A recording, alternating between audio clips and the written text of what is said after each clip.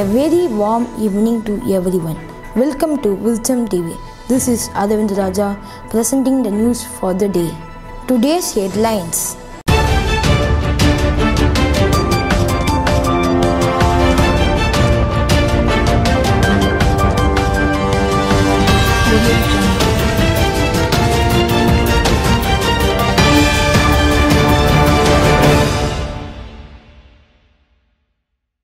A student from Salem has topped the All India level in the Chartered Accountant examination called Chartered Accountant. Tamil Nadu has been allocated rupees 1.03 lakh crore for 3,500 kilometer of national highway work including Madurai Kollam, Chittoor, Thatchur corridors. The session of the Tamil Nadu Legislative Assembly begins today with the governor's address.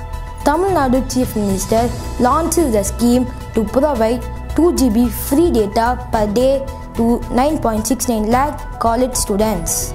Tamil Nadu Chief Minister compensation for farmers whose crop were damaged in unusual rains in January. A central team to visit Feb 3, 4 and 5 to access damages incurred. Madras High Court decides to function in both physical and virtual mode in full capacity from Feb 8. A budget capital expenditure for FY 2021 and 22 focused on providing a major boost to healthcare and infrastructure building.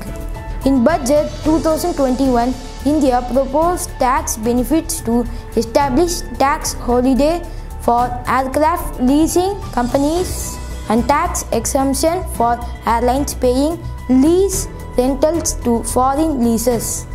Bhavya Lal, a US citizen of Indian descent, has been appointed Chief Executive Officer of NASA. The government on Monday extended temporary suspension of internet service at three Delhi borders till Tuesday. SpaceX announced that it will launch four private individuals on a Crew Dragon capsule into orbit around the Earth. Weather report.